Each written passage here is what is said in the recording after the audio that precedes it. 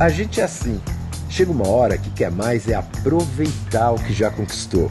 A gente já tem experiência suficiente, já conhece os atalhos. Quer mais é ver o bom da vida. Sem pressão, a gente tá no comando, tem controle, sabe dos nossos limites.